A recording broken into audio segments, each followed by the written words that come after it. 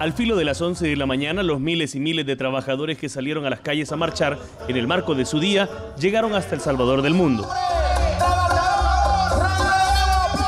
Inmediatamente inundaron el ambiente con sus banderas y consignas. Los asistentes destacaron la importancia del día y sobre todo en el nuevo tiempo, donde el presidente electo es reconocido por su trayectoria en pro de la clase trabajadora. Por primera vez en la historia de nuestro país, un presidente sale de la clase trabajadora. Un presidente llega eh, trabajando continuamente desde la base del pueblo salvadoreño. Recordemos que Salvador inició su lucha siendo maestro, siendo trabajador de la educación. En la plaza todo continuaba. Más y más llegaban al evento central de la celebración. Óscar Ortiz, vicepresidente electo, fue uno de los primeros en llegar. Aprovechó para destacar los compromisos con el sector de trabajadores.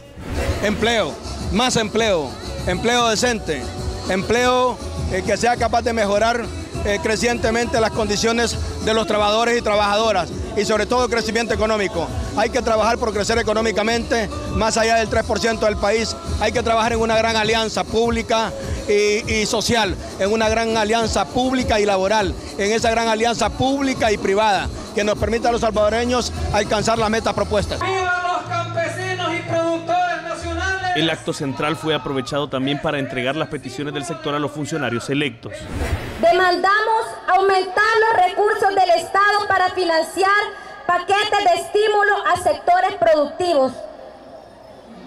De igual manera que en este caso se le dé soporte al desarrollo del Plan Nacional de Generación de Empleo Decente. También implementar un sistema fiscal moderno, eficiente y transparente en la gestión pública, que sea un sistema progresivo y redistributivo. Los discursos finales, a cargo de Medardo González y el presidente electo Salvador Sánchez Serén, fueron espacios de mucha atención para los asistentes, pues fue aquí donde el compromiso del partido en el gobierno se reafirmó. El FMLN, Salvador Sánchez Serén, Capres, los diputados, las alcaldías, el sector laboral, todos nos comprometemos a trabajar por la organización del sector privado y que en estos cinco años debemos de progresar, debemos de dar el salto de la organización del sector público al sector privado. La revolución se hace no solo sobre una forma de lucha, sino la revolución depende mucho de la conciencia que tiene el pueblo, de que el único camino que le queda es luchar. Y este pueblo ha luchado y va a seguir luchando toda la vida, porque tiene conciencia de que tiene que transformar esta sociedad. Seren también destacó la importancia del movimiento sindical y del esfuerzo de los y las trabajadoras, punto que a su juicio denota la unidad del pueblo. Y el cambio tiene que conducir a hacer una transformación de las estructuras injustas que viven todavía y que subsisten en este país.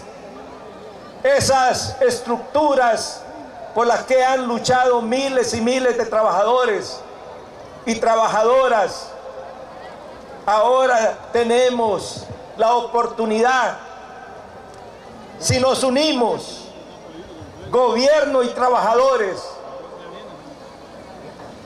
si garantizamos un gobierno que respete y garantice la libertad sindical y los derechos sindicales de los trabajadores. La concentración a la que se calcula asistieron al menos 150 mil trabajadoras y trabajadores finalizó pasadas las 12 del mediodía, en completa calma y presionada un poco por la lluvia que refrescó la entrada de la tarde.